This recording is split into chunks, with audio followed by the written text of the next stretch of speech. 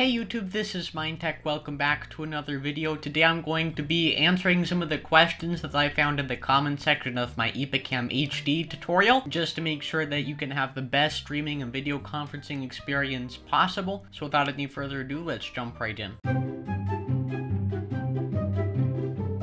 So I think one of the most common and worst issues that EpocCam at least used to have is the white screen issue. If I pop on, open up the EpocCam viewer on my laptop here, all we can see really is a white screen. That is a bug that EpocCam had, I think, around release 2.94. Kinoni, though, has released a new version of it, and I think it has fixed this bug. I'm not completely sure, but I'm first going to show you exactly how to fix this bug if you have it on your system. First, open up the services program, and then click on any of these items here and press a K, and that's going to bring you over to the Kinoni service. A service is basically like a program that's always running in the background, and it facilitates a really specific activity. Whenever I open up that EpocCam app on my phone, this service is always listening to see if there's a connection being broadcast from the phone, and the instant it hears that, it establishes a connection. And what we need to do is click on stop that service. Then we need to go into the device manager and scroll down to the sound, video, and game controller section. Double click that and as you can see, there are two instances of EpocCam. This is the problem that we're running into when the 2.94 installer put in the software, for some reason it decided to have two instances of the driver. The reason why it has a driver, first of all, is because EpocCam is kind of like plugging in a webcam. It's facilitating this really low level communication of video. So in order to fix that widescreen, double click any one of the EpocCams, go to driver, and click on uninstall device. Make sure to not click delete delete the device software for this device. That's going to remove the second EpocCam and we're going to start from ground zero again. Click on uninstall and now there's only one EpocCam left. The reason why we stopped that service is because like I said, it's constantly listening. So if you're deleting the driver for something that's listening, that's going to cause a blue screen of death and nobody wants to have that happen. Make sure to go back into services and start that Kinoni service again. And now if we open up the viewer, now it's working perfectly fine. I do believe that they fixed this bug in the later version version of the software. So what I recommend you do if you installed the software a few months ago is just download the new version by searching up the Kinoni website, scroll down until you see download and install computer drivers and click on the download Windows drivers button and then click on that thing that downloaded down at the bottom of your browser and before you install it make sure to extract all the files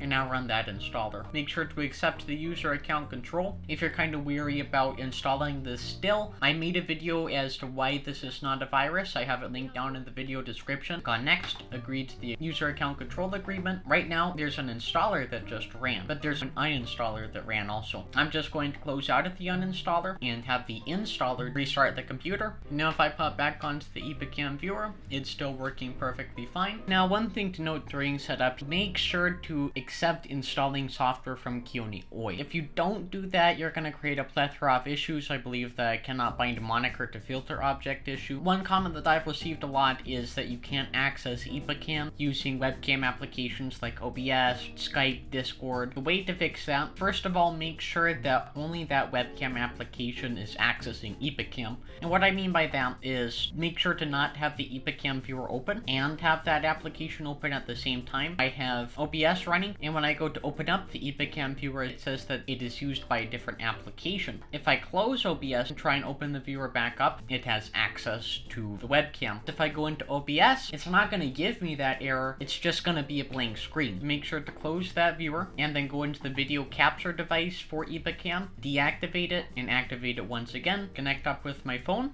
and it connects right on over to the laptop. Now I'm going to go and try and connect on with Discord. What you need to do is go down into the bottom left hand corner of the window and click on the user settings icon and then go into the voice and video tab under the app and settings section. Scroll down to where you see video settings and make sure that that camera is set to EpocCam camera. These webcam applications set to the automatic audio device and the automatic video device and since this is a laptop it's going to automatically use the potato quality webcam. So So now that I'm connected with EpocCam, I can test the video, and this is exactly what we expect. If you've been having issues with your audio, make sure that you set the input device over to the Kinoni audio source, and with OBS, it should automatically add in the video capture device audio input feed, so make sure to actually go and mute the microphone slash auxiliary device so you don't have an echo from your built-in microphone and EpocCam all at once. So if I connect EpocCam back up, and I check my microphone, Whenever I tap on my phone, it also taps on the voice meter, and if I test my video, I have a video feed displaying right here. Now, some problems you might encounter might be to do with the privacy settings. If you don't allow access for EpocCam on various applications in Windows, that can also create a lot of issues. Pop onto the Windows settings, go to the privacy section, and then under the app permissions, click on the camera tab, and make sure that both EpocCam Viewer and any of your other webcam applications have access to use the camera. If I disable that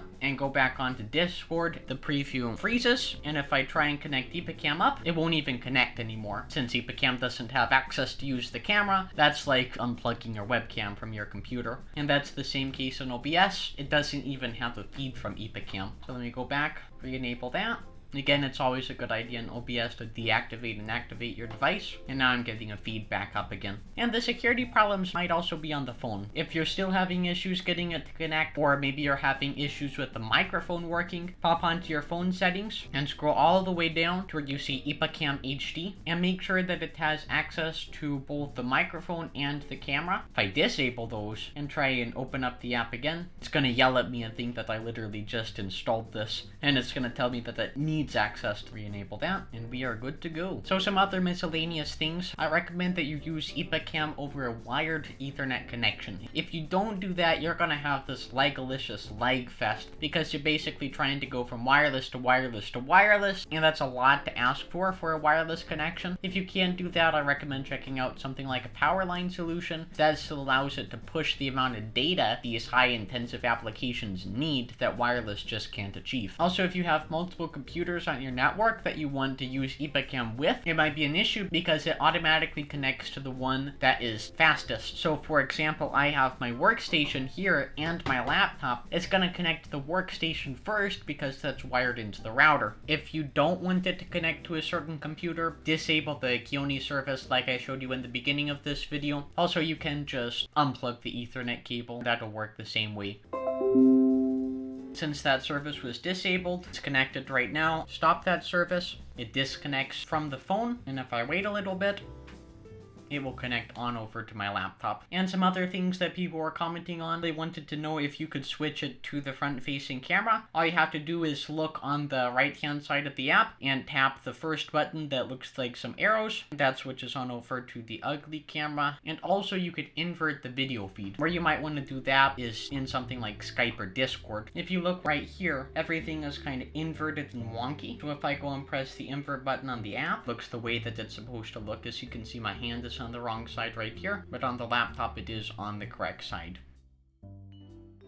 And other than that, I had one person asking if you can connect this up via a USB port. That is possible now, and it is also possible to connect via the NewTek NDI protocol. Now, I've had really good experience with USB. It seems to be a lot more stable and a lot faster to connect, but the NDI stuff, I've never really checked it out with EpocCam before, and as I demoed in my EpocCam review video, I found out that the NewTek protocol works worse than the protocol that EpocCam uses to connect. So I'm going to first plug in the iPad using the USB USB cable. And if I open EpocCam HD up right here, notice up at the top it says connected using Wi-Fi. And sometimes it will connect by default just because it has a powerful connection over Wi-Fi. Even if you still have the cord plugged in, it might not be the case that it uses the cord. If I unplug this, it still is connected with the computer. And although it is still a low latency connection, it isn't as low latency and as reliable as connecting it up using the cable. So if I plug that back in and click on the gear icon up at the top top right hand corner. And where I see connection method, select USB. Just for a second there, it disconnected and reconnected, and now it says connected using USB. So if I unplug that cable, no connection is established. And one advantage of that is you're not gonna have to disable any services on other computers if you want to use EpocCam. Look at that, guys. This is a really low latency connection, even better than Wi-Fi. One other advantage of this is that it will charge your device while you are streaming. So that means that you're not gonna randomly have your camera camera die, which would suck a whole lot. And also if there's an emergency,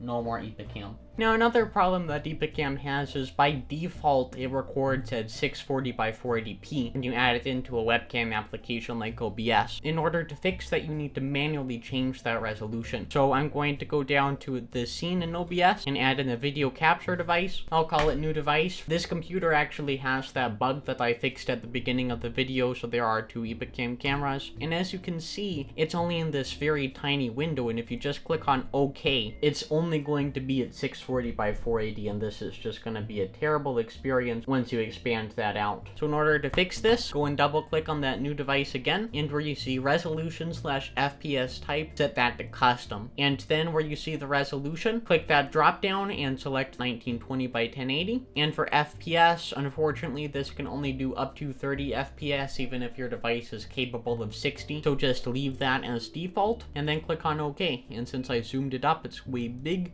and now you're able to get the full resolution of EpocCam HD, which is exactly what I wanted. So with that said, guys, thank you all for watching this video. I hope that some of these troubleshooting tips can help you get EpocCam working very well. I'm really happy that Yoni released a new version of the software. I think that it is going to be a lot more reliable and fix a lot of issues. I hope you enjoyed, and I'll catch you all in the next video. Bye-bye.